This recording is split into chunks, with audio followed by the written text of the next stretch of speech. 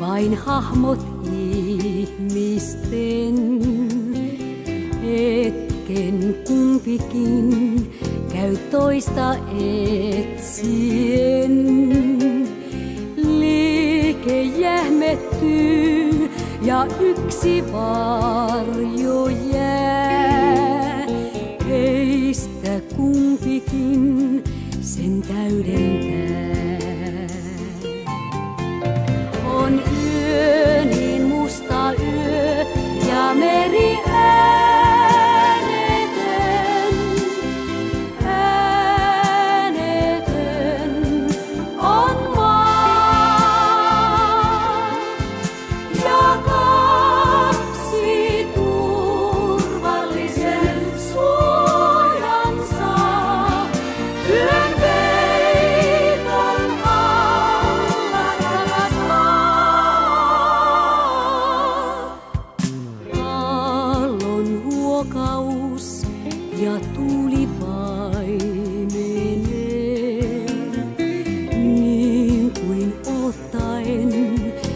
hetken kuuntelee.